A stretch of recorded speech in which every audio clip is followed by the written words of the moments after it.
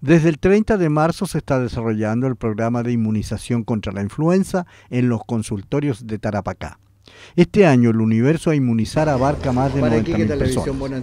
El programa estará vigente hasta el 30 de mayo. Los grupos de riesgo eh, contempla este año de 6 meses a 5 años, 11 meses, 29 días en los niños.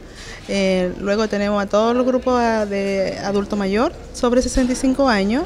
Eh, también tenemos a las embarazadas mayores a 13 semanas de gestación, todas las embarazadas.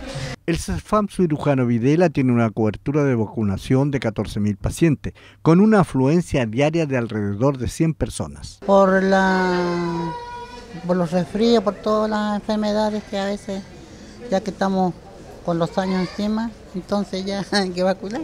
Bueno, para no empeorarse cuando uno se resfría, para cuidar la salud. Tengo una enfermedad crónica y otra porque atiendo público. Entonces es bueno no prevenir inyectándome para que si me llega a dar algún resfriado no sea tan fuerte. Estoy aprovechando ahora el, principio de la vacunación para que después hay mucho flujo de gente, entonces hoy día es más tranquilo, más calmado. El llamado es a vacunarse para prevenir la influenza y en especial aquellas personas que tienen patologías respiratorias o cardíacas, además de los grupos de riesgo y quienes trabajan en servicios públicos.